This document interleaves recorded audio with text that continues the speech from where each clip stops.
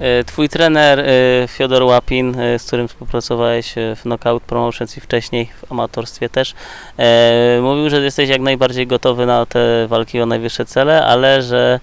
masz zbyt gorącą głowę i że jedyne co ci zarzuca to to, że na tych przeciwnikach powiedzmy takiej średniej półki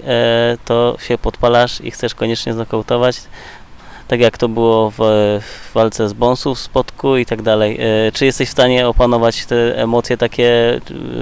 swoje w ringu, żeby tak e, taktycznie, bardziej strategicznie podejść do, do walki?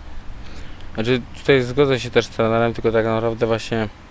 e, pewne takie ryzyko, które tam podejmuję e, w walkach, kiedy czuję się troszeczkę bardziej pewny lub w, w miarę bezpieczny, to, to po prostu jest to jest też z tego tytułu, że e, chcę, żeby ta wa walka była właśnie emocjonująca dla ludzi. Wiem, że tak nie powinienem myśleć, powinienem bardziej egoistycznie myśleć w, wtedy, bo, bo tak naprawdę jeden cios może zakończyć tę walkę, no ale no, ta, taki, takim jestem człowiekiem, no i nic za to nie poradzę, że po prostu chciałbym, żeby e, ludzie po prostu też czuli tą adrenalinę i emocję taką jak ja, ja mam w ringu. E, z boku wiem, że to się dużo gorzej ogląda e, właśnie dla trenerów, którzy wkładają też dużo, dużo pracy w te przygotowania. Jeszcze właśnie zwłaszcza pan e, trener Łapin jest to osoba, która naprawdę bardzo dużo serca wkłada w przygotowa przygotowanie do każdy, dla każdego zawodnika i jest to na pewno dla niego bardzo absorbujące, bo ma ich troszeczkę na sali, aby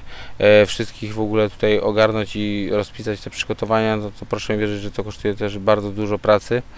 E, No i ci trenerzy wiem, że bardzo, du, du,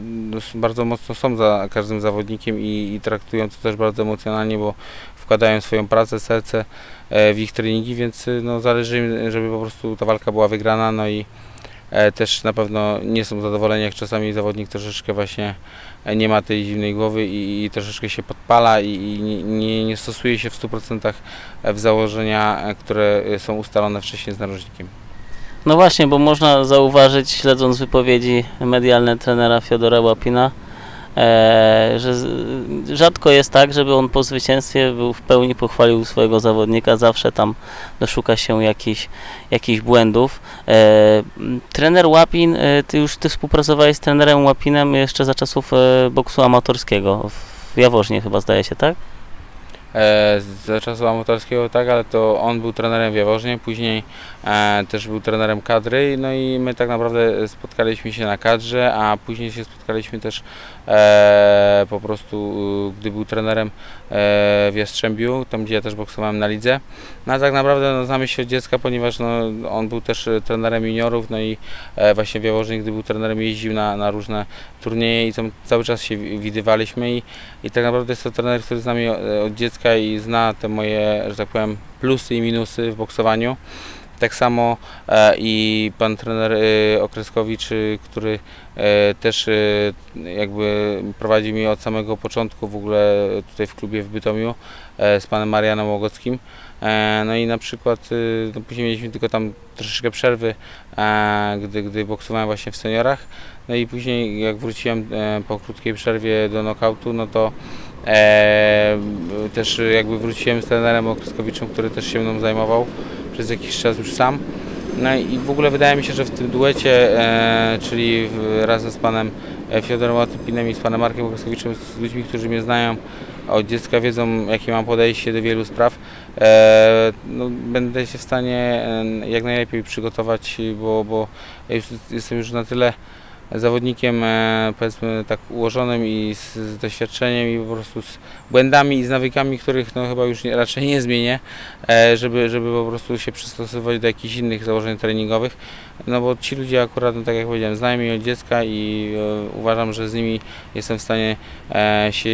e, najlepiej przygotować e, do, do, do każdej walki.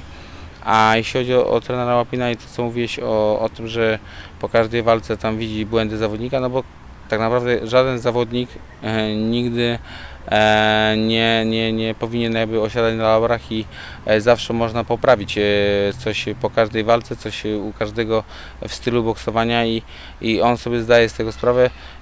On reprezentuje taką właśnie wschodnią szkołę boksu, która tak naprawdę jest szkołą też, która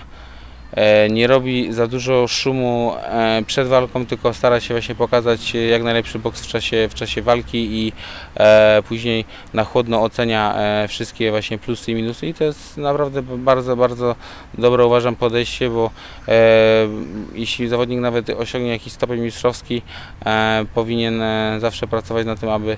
udoskonalać to wszystko i nie osiadać na laurach, bo to po prostu później może być zgubne i, i, i- e, przez, przez chwilę e, zawodnik, jak e, wydaje mu się, że umie wszystko, no to później czegoś może mu braknąć przy walce z zawodnikiem, który stylowo może mu nie pasować.